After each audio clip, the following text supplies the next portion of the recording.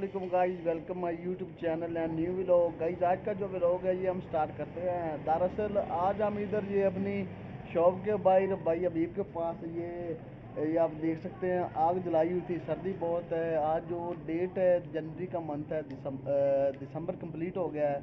और जो जनवरी है, ये स्टार्ट हो गया है। ठंड बहुत है, धूप नहीं निकल रही तो इस वक्त जो टाइम हो गया है, एक से दो बज गए हैं। तो अगर आप मेरी ये बैक साइड में देखें तो वो जो धुंध है, वो अभी भी काफ़ी ज़्यादा है तो जो सर्दी की या सर्दी का जो टेम्परेचर है, काफ़ी ज़्यादा हो गया तो हम ये आग के ऊपर चढ़ कर बैठे हुए हैं। आप ये देख सकते हैं, ये भाई अभी बैठे हैं। तो इधर हम बस आग, यानी इंजॉय कर रहे थे। वो लकड़ी पड़ी हुई है, जिधर से लकड़ी हम इधर, ये इस बॉक्स के अंदर डालकर आग लगाई और इसके हम लुत्फ़अंदोज़ उठा रहे थे आग से।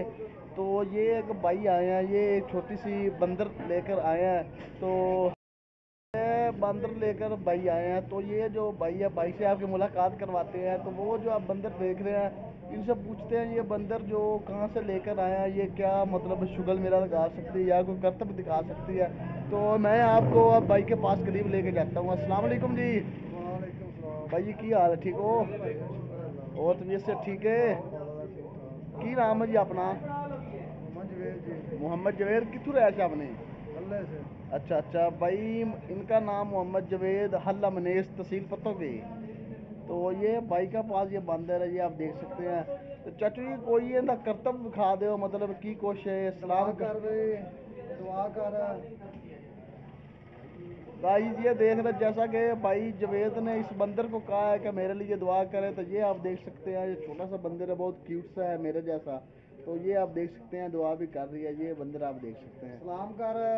ये देख रहे हैं, जिस तरह ये भाई जवेद इस बंदर को कह रहा है, दुआ करें, सलाम करें, ये आप देख रहे हैं, सलाम भी कर रही है, और जो मतलब सलाम, उन्होंने इनको कहा, सलाम करो, उन्होंने सलाम कर दिया तो भाई जवेद ने, इनको कहा कि दुआ करो, उन्होंने दुआ कर दिया भाई जवेद ये कितु लैके आए जो बंदर? अच्छा, है चलो और लोरो बंदर किधर आ गए? बंदर तो उधर मिलते रहे मरी वाली साइड तो।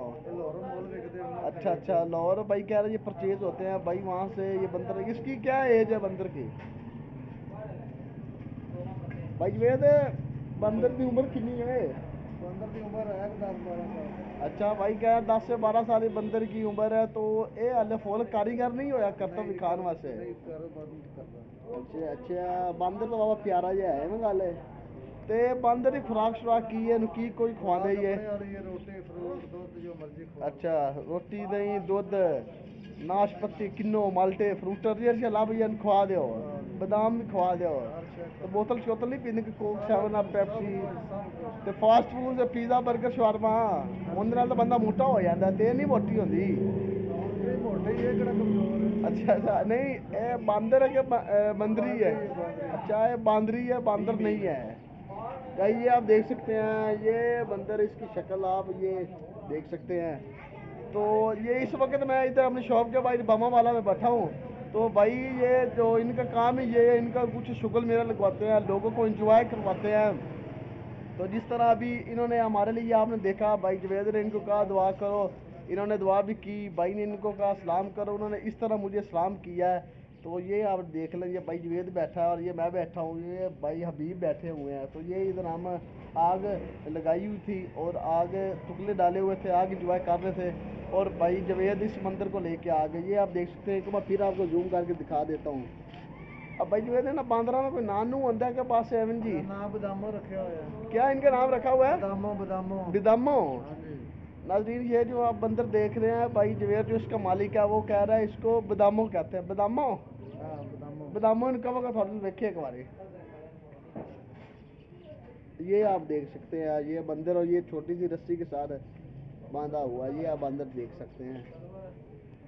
तो नाजरीन, बस आज की जो मेरा व्लॉग था, जो वीडियो थी, वो बस यही थी। इस वीडियो में हमने आपको कुछ, ये बंदर के वाले से कुछ मैंने आपको डिटेल बतानी थी और इस बंदर का जो कारीगर या जो मालिक है भाई जवेद उसकी, उसका कुछ मैंने आपको इंटरव्यू करवाया। तो बस सारी की वीडियो यही थी। मुझे उम्मीद है मेरी आज की वीडियो आपको अच्छी लगी होगी।